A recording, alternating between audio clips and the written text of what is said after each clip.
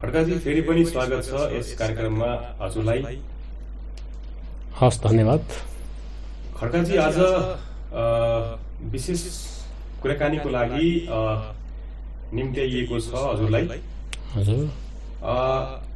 आजको विषयवस्तु अलिकति धार्मिकतिरै जाउँ हामी। धार्मिक कुराकानी गर्दाखेरि यो दाङ जिल्लामा अवस्थित अ, बाह्रकुने दहको बारेमा कुराकानी गरौँ र केही कुरा हजुरबाटै बुझौँ यसको बारेमा। यो यसको इतिहास के हो र किन यसलाई धेरै हामीले मान्ने गरेका छौँ? किन टाढा टाढाबाट पनि यसलाई अ, यसको यसमा हुने अ, विशेष मेलाको टाइममा पनि धेरै भिडभाड देख्छौँ हामी। त्यो भिडभाड र त्यति धेरै श्रद्धा श्रद्धालुहरूको आस्था किन छ? आज थोरै बताइदिनुहोस् न यहाँ। सर्वप्रथम त यहाँहरूलाई मेरो नमस्कार छ। यो बाह्रकुने भनेको अब आज विशेष गरेर तपाईँले भन्नुभयो अलिकति धार्मिक वातावरणमा हामी गइरहेका छौँ र बाह्रकुने भनेको देवस्थल हो। हजुर। देवस्थलमा अब यसको इतिहासबाट सुरु गर्दा अब लामो जान्छ यहाँहरूले लामो गएको माफ गर्नु होला मलाई। हजुर हजुर। यो सत्ययुगमा भगवान् शिवबाट एउटा मनु भन्ने जो सृष्टि भयो मनुको तेस्रो पिँढी नाति भनिन्छ जसलाई मस्टा भनिन्छ। मस्टो पनि भन्छन्। हजुर हजुर। यो मस्टोको अठार भाइ मस्टोको भान्जा आउँछन् बाह्र भाइ ब्राहा। ती बाह्र भाइ ब्राहा र नौ बहिनी बजु। जसलाई देवीको रूप दिइन्छ। अब पहिला नाम लेख्ने क्रममा पनि महिलाहरूको नाममा प्राय लेडिसलाई देवी भनेर लेखिन्थ्यो जस्तो दुजा देवी हिमा देवी खेमा देवी त्यसरी लेखिन्थ्यो भने अनि पुरुषको नाममा देव लेखिन्थ्यो। जस्तो महादेव सहदेव तीर्थदेव यसरी देवबाट लिइन्थ्यो। त्यस क्रममा त्यो बाह्र भाइ ब्राहा जो मन्नाल्नी भन्ने बहिनी थिइन् अठार भाइ मस्तकी एउटै बहिनी थिइन् जसलाई मन्नाल्नी भनिन्थ्यो। ती मन्नाल्नी बहिबाट बाह्र भाइ ब्राहाहरू जन्मे। ती बाह्र भाइ ब्राहाहरू जन्मिसकेपछि यिनीहरूको विभिन्न स्थानमा यिनको बास भयो। त्यो बास हुने क्रममा जेठालाई कैलु ब्राहा भनिन्थ्यो। जो कैलु ब्राहा लेख बेसीमा राज्य गर्ने राजा थिए त्यति बेलाका। जस्तो मस्तहरूमा अठार भाइ मध्येमा पनि गादी मस्ता या दारे मस्तालाई मात्रै राजाको रूप दिइन्छ। त्यस्तै बराहलाई पनि त्यति बेलामा जेठालाई मात्रै राज्य दिने क्रम थियो होला लाग्छ मलाई यो सत्यजुगको कुरो हो आजको कुरो होइन। मैले सुनेको र मैले देव देवस्थलमा बुझेको कुरो अनुसार मात्रै गरिरहेको छु यहाँहरूसँग। अब त्यो कैलु के अरे जेठो जो कैलु ब्राहा छन् अब कान्छा भिर खानी भन्छ हरेक ठाउँमा छन् तिनीहरू है अब जेठा कैलु ब्राको त्यति बेला के रहेछ भने हिउँदोमा तराईतिर आउने। बर्खामा बर्खा माल र हिउँदो हिमाल के अरे हिउँदोमा माल र बर्खामा हिमाल भन्थे अरे। त्यति बेलाको परापूर्व कालमा त्यो बर्खायाममा पहाडतिर चढ्ने र त्यो जाडो याममा चिसो याममा बेसीतिर झर्ने प्रक्रिया रहेछ त्यति बेलाको त्यो कैलु बराजीको त्यो बेसीतिर झर्ने क्रममा उहाँ कदा कदा त्यो दाङ उपत्यकाभित्र आइपुग्नु भएको छ त्यति बेला दाङ उपत्यका पुरा भरि भराउ थियो त्यो पानीको निकास थिएन ताल थियो तलाउ थियो त्यो त्यो जलाशय थियो। जहाँ जल त्यहाँ ब्राहा हुन्छ। सिमे भूमे भनेर यसलाई पूजा गरिन्छ पहाडीमा। अब त्यो त्यो जलाशयलाई कसैले खोल्यो या आफै खोल्यो त्यो इतिहास र प्रकृतिले देखाउने कुरो हो मैले भन्ने कुरो यहाँहरूलाई भएन। त्यो ठाउँमा आउँदाखेरि उहाँले त्यो बाह्र कुने भन्ने ठाउँमा उहाँले बास बस्न चाहनुभयो। त्यो बाह्र कुनेको अर्थ के छ भन्दाखेरि त्यो लेकको कुनामा यहाँहरू भक्तजन पनि त्यहाँ पुग्नुभयो भने हेर्नु होला म त्यहाँ गएको छु मैले हेरेको छु। त्यो जति त्यो लेकको त्यो बनेको छ त्यो भूगोल त्यो भूगोलमा बाह्रवटा कुना परेका छन्। हजुर हजुर। त्यो बाह्रवटा कुना परेको आधारमा त्यो जुन तल तलाउ बनाइएको छ पहिला त पोखरीको रूप थियो त्यो। पछि मानव निर्मित तलाउ बनाइयो। त्यसको पनि ती लेखका भूगोलको आधारमा त्यो बाह्र कुनालाई आधार मान्दै त्यहाँ पनि बाह्रवटा कुना बनाइयो। जहाँनिर त्यो मन्दिर छ त्यो बिचमा तलाउको बिचमा मन्दिर छ त्यहाँनिर ब्राहाको स्थान थियो भनेर भनिन्छ। त्योभन्दा त्यो मन्दिर बन्नुभन्दा पहिला म देखेको थिएँ त्यहाँ। त्यति बेला त्यहाँ एउटा कुसको बुटा थियो। त्यो कुसको बुटामा नै ब्राहाजीले त्यहाँ बास बस्नुहुन्छ भन्ने मान्यता थियो। अब जहाँसम्म बर्खामा उहाँ पहाडतिर चढ्नुहुन्थ्यो पहाड चढ्ने क्रममा उहाँ कहाँ बस्नुहुन्थ्यो भन्दा गामा लेखमा बस्नुहुन्थ्यो जलजला बस्नुहुन्थ्यो। जलजला गामा लेख अनि ब्राचौर हुँदै उहाँ चाहिँ दाङ झर्नुहुन्थ्यो। किनभने त्यति बेला त अब यातायातको साधन पनि थिएन र त्यो त्यो परम्परा पूर्व- पूर्वकालमा त कुनै जहाज प्रक्रिया पनि थिएन होला त्यो झर्दै आउने क्रममा जहाँ जहाँ उहाँले पाइलो टेक्नुभयो त्यो ठाउँमा दह या ब्राह मान्ने एउटा त्यो स्थापना ब्राहको हुँदै आयो. त्यही क्रममा त्यो जलजलाबाट आउँदा पहिलो बासमा त्यो बडा चौरमा आइपुग्नु भयो. त्यहाँ बासै बस्नुभएको हो. त्यहाँ ठुलो पूजा मेला लाग्छ. त्यसपछि आउने क्रममा जहाँ जहाँ उहाँले खुट्टा टेक्नुभयो खुट्टा टेकेको पाइलो टेकेको ठाउँमा पनि ब्राहको स्थापना छ र त्यहाँ ब्राहलाई पुज्दा हुन्छ। अब जहाँसम्म बाह्र कुनेलाई किन मानिन्छ त बढी? भन्ने कुरो आयो। बाह्र कुने भनेको त्यो दाङ भ्यालीको ठुलै धार्मिक स्थलमा त्यो गनिन्छ त्योभन्दा अर्को त्यहाँ देवस्थल छैन। पहाड। त्योभन्दा ठुलो। छैन। साना त छन्। अब कालीमाटीमा देउकी बजू हुनुहुन्छ। त्यो पनि ब्राहकै बहिनी मानिनुहुन्छ उहाँ। त्यो दाङ जिल्लामा पर्दैन मेरो ख्यालमा त्यो सुर्खेत जिल्लामा आउँछ। कालीमाटी अब ती प्रक्रियामा त्यो बराहलाई मान्नुको अर्थ के हो भन्दाखेरि अब फेरि इतिहासमा जानुपर्छ। बराह भनेको को त पहिला त यहाँबाट सुरु गरौँ। बराह भनेको त्यो मस्ताका भान्जा। मस्ता भनेको भने हाम्रो कुल। क्षेत्री ब्राह्मण अन्य जातिहरूको कुल। ब्राह भनेका मगर मगरादीको कुल। अब त्यो भान्जा भइसकेपछि त्यति बेला के बुझ्न सकिन्छ भने यो मगर भनेको कुनै मङ्गोलियाबाट आएको होइन क्षेत्री आर्य भनेको कुनै आर्यवर्तबाट आएको होइन। हामी सबै यही देशका यही हिमालय भेगभाग भेगभागका मान्छेहरू हौँ भन्ने यसले देखाउँछ र दर्शाउँछ। त्यति बेला पनि मगरलाई भान्जा त त्यो मस्ताले मानेका रहेछ नि। त्यस कारणले मगर त हाम्रै समुदायभित्र पर्दो रहेछ। धार्मिक स्थितिलाई हेर्नुहुन्छ भने मगर र क्षेत्रीमा अन्तर छैन। त्यो मगर पनि हाम्रै इष्टमित्र हो भनेर भन्नुपर्छ। यहाँ चाहिँ द्वन्द्व गराउने मान्छेहरूले भन्छ हामी मङ्गोलियम हौँ हामी के के हौँ आदि इत्यादि भन्छन् तर यो गलत हो। त्यति बेला देवलोकमा पनि उनको बिहाबहरू हुन्थ्यो भने त एउटै जात हो एउटै संस्कार हो एउटै संस्था हो नि हजुर। मस्ताको भान्जा ब्राहा हुन्छन् भने। ब्राहा भनेका मगर मगरादिका कुलपति देवता हुन्। र जहाँ पनि तपाईँ देख्नुहुन्छ त्यो ब्राहाको स्थान जहाँ छ त्यहाँ मगर पुजारी हुन्छ। त्यहाँ क्षेत्रीहरूले अरू जातिले पुजेको त्यहाँ मान्यता हुँदैन मान्दैन उसले। जहाँ मगरले पुज्छ उसले मान्छ। अझ एउटा किम्बदन्ती त के पनि छ भने त्यो ब्राहाको पूजा गर्नको दिनमा त त्यो मगर पुजारी बाजेले त्यो भाङ्रो गादो पारेर त्यो तल आफ्नो मगरको लै लगाम लगाएर उहाँले चाहिँ एक बटको जाँड खाएर अनि बासी रहेको ढिँडोको डल्लो खाएर पूजा गर्न गएपछि मगर त्यो देव देवता बराजी बडा खुसी हुनुहुन्छ भन्ने एउटा किम्बदन्ती छ। त्यो आधारमा पनि बराहदेव त्यसरी हुनुभयो। अब दाङमा त्यो बाह्र कुनेमा बाह्रवटै कुना मैले पहिले यहाँबाट भनिसकेँ। त्यो ठाउँमा पहिला त्यो एउटा गाउँ थियो। त्यहाँ चौधरीको बसोबास थियो। किनभने दाङमा चौधरीहरू बस्छन्। त्यति बेला चौधरी भन्ने पनि थियो समाज त्यो समाज समुदायलाई।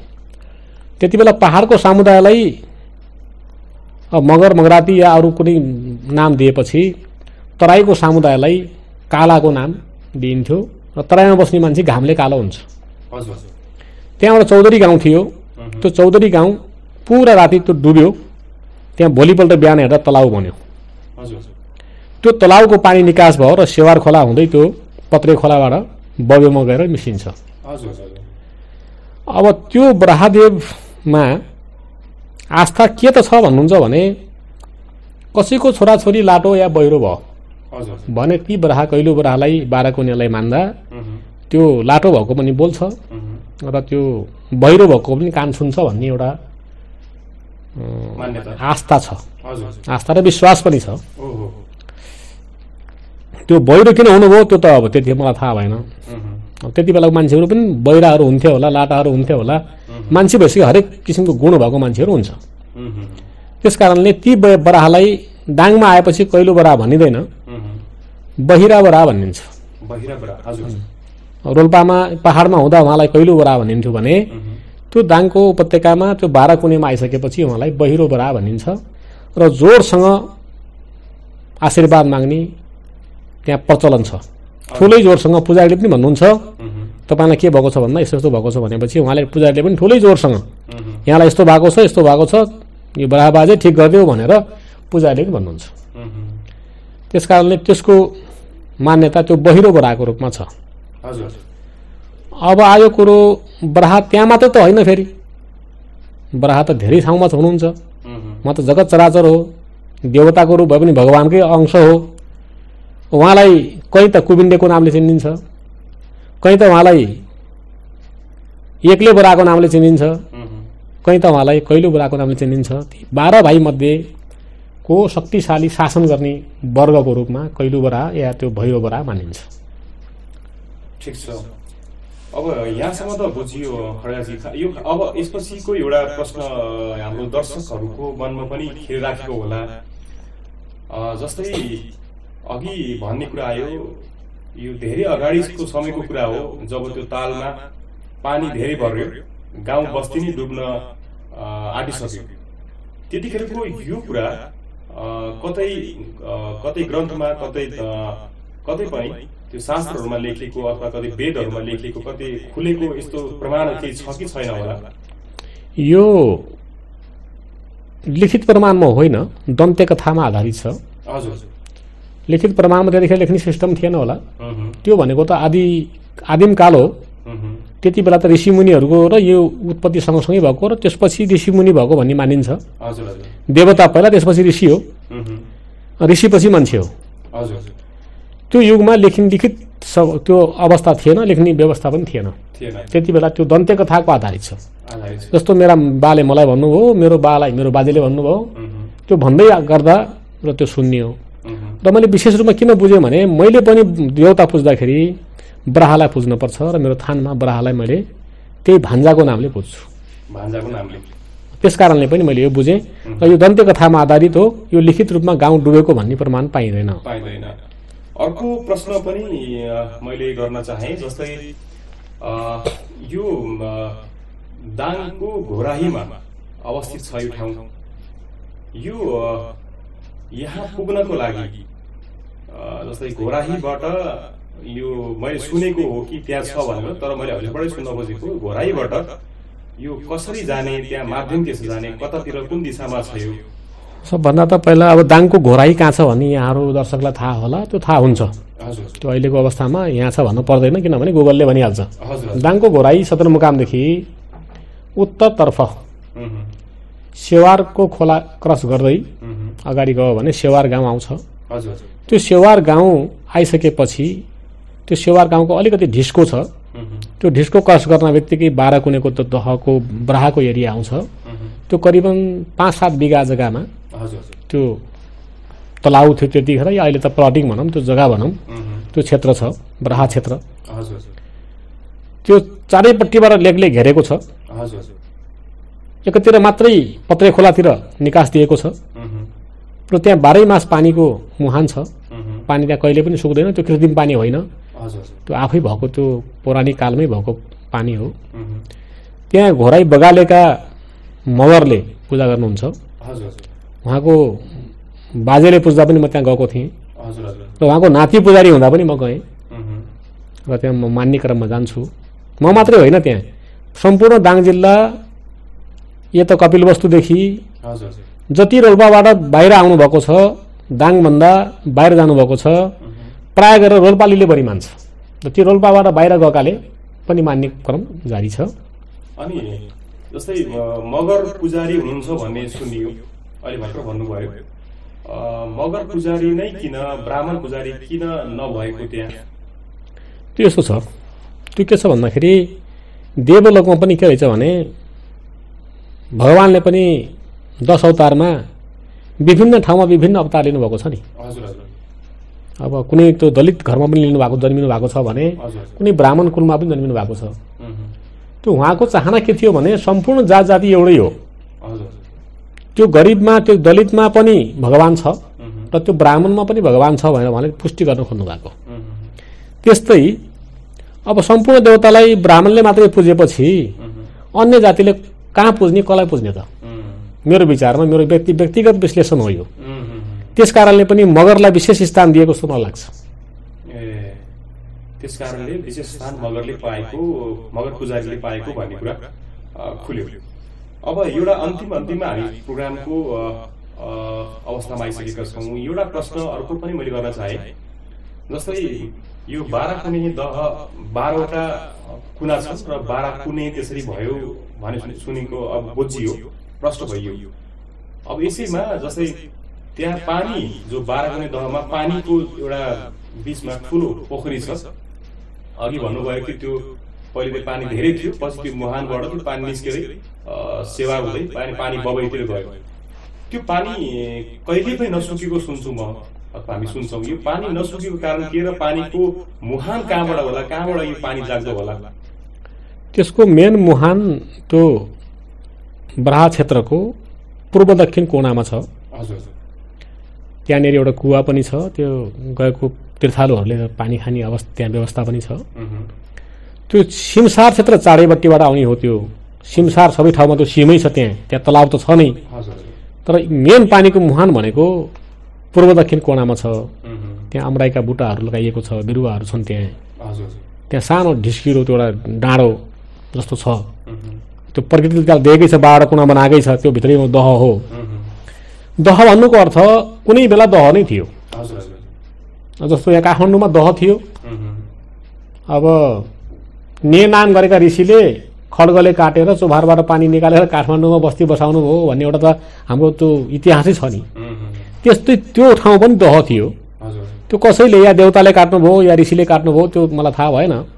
तर त्यहाँ कटिङ भयो र पानी निकास भयो। पहिला गाउँ थियो बस्ती थियो त्यो बस्ती डुब्यो।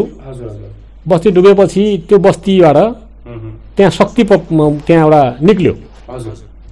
जहाँ भन्छन् नि त्यो धेरैजना मान्छेहरू एउटै ठाउँमा दफन भए या केही भयो भने त्यसको शक्ति र आत्मा निक्लिन्छ। त्यस्तै मेरो विचारमा त्यो बाह्र कोणेमा जति मान्छेहरू त्यो त्यो गाउँको बस्ती डुब्दा त्यहाँ जति त्यो आत्मा दब्यो त्यो आत्माले प्रहार गर्यो मासतिर। त्यहाँ शक्ति उत्पत्ति भयो र त्यसलाई ब्राहाको नाम दिइयो त्यो ब्राहाले अब मलाई मान्दैनौ भने म केही पनि गर्न सक्छु भन्ने प्रभाव देखायो होला जस्तो मलाई लाग्छ किनभने त्यो सम्पूर्ण संसारले त्यसलाई मान्छ। एउटा जातिले त्यसलाई मान्दैन। जातिको आधारमा त मगरले मात्रै पूजा गरे हो। तर त्यो मान्ने सबैले मान्छ त्यहाँ विभिन्न जात जातिले मान्छ सबैले मान्छ भनेपछि त त्यो शक्तिलाई मानेको।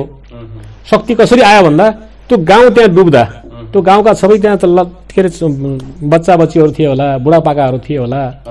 त्यो सम्पूर्ण डुब्दाखेरि त त्यो सम्पूर्णको त त्यो आत्मा त त्यहाँ पुरा त्यो भर्को हाल्ने अवस्थामा आयो।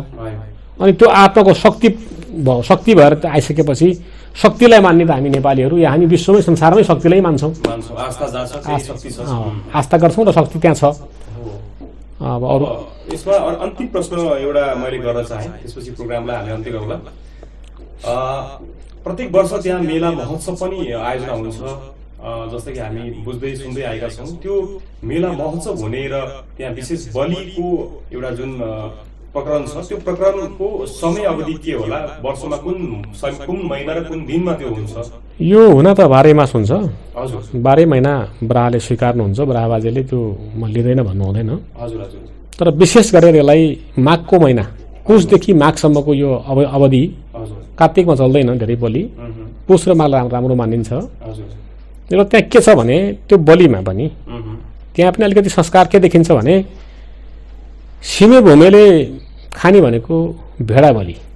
हजुर किन भेडा बलि खान्छ भन्दाखेरि तपाईँ हामीले अहिले पनि हेर्दा त्यो हाम्रो नेपालको उत्तरी भूभागमा मगरहरूले गुरुङहरूले या राईहरूले बढी भेडा पाल्नुहुन्छ। त्यो भेडा पाल्नुको अर्थ त्यही रहेछ कि उहाँको पु उहाँको कुलले उहाँको देउताले पनि त्यो भेडा चाहँदो रहेछ। र त्यो दाङमा आइसकेपछि पनि त्यो बराहले भेडाकै बलि लिने हुन्छ। किन भन्दाखेरि त्यो अरू किन बलि नलिएको त्यो बोकाको लिएको पनि हुन्थ्यो नि। हुँदैन। बराहलाई भेडा नै चाहिन्छ त्यो भेडा पाल्ने भनेको मेन जातिमा मगर आउँछ। पहाडी भू- भूभागमा भने तराईमा चौधरी समुदाय आउँछ। त्यो मगरले मात्रै होइन फेरि चौधरीले पनि मान्छ उम्, त्यो भेडा पाल्छ अनि बराला मान्छ तर पुज्नु त्यहाँ नआउला। उसले अर्कै नामले पुज्छ। उसले बोजूको नामले पुज्छ तर त्यो चिज एउटै हो। ठिक छ ठिक छ। खड्काजी आजको यो कुराकानी र हाम्रो यो आजको कार्यक्रम बाह्र कुने दह जो कि दाङको घोराही अ, देखि अ, उत्तरतिर कोमा एउटा अवस्थित विशेष महत्त्वपूर्ण स्थान रहेको छ। एकपटक सबै दर्शकबिन्दहरूलाई पनि हामी त्यहाँ जान त्यहाँ एकपटक गई दर्शन गर्न अनुरोध गर्दछौँ। र आगामी प्रस्तुतिमा पनि हामी विशेष ठाउँ र विशेष प्रस्तुतिलाई लिएर आउनेछौँ। तबसम्मको लागि खड्काजी यस प्रोग्राममा आइदिनु भयो। त्यसको लागि धेरै धेरै धन्यवाद र विशेष आफ्नो प्रस्तुतिले गर्दाखेरि आजको दर्शकबिन्दहरूलाई पनि यहाँले विशेष जानकारी दिनुभयो। आशा छ यहाँ दर्शकहरूले पनि यो कुरा जुन कुरा कतै नसुनेको कतै थाहा नपाएको कुरा पनि हुनसक्छ कति कुराहरू त्यस्तो कुराको जानकारी प्राप्त गर्नुभयो। यसको लागि विशेष हामी खड्काजीलाई यहाँ धन्यवाद ज्ञापन गर्न चाहन्छौँ। यहाँहरूलाई पनि मेरो धन्यवाद छ र म के भन्छु भने संसारमा जति पनि प्राणी हुनुहुन्छ उहाँलाई हाम्रो ब्राहदेव ब्राह अवतारै भनिन्छ। त्यो ब्राह अवतारको रूप ब्राहदेवले सम्पूर्ण यो जगतवासी प्राणीलाई सदैव रक्षा गर्नुहुनेछ कल्याण गर्नुहुनेछ मेरो तेरो भन्नुहुने छैन। अहिलेको यो राष्ट्रिय अवस्था यो जर्जर अवस्थामा पनि उम्, ब्राह बाजेको कृपा रहोस् सुख शान्ति रहोस् र समृद्धि रहोस् भन्न चाहन्छु धन्यवाद।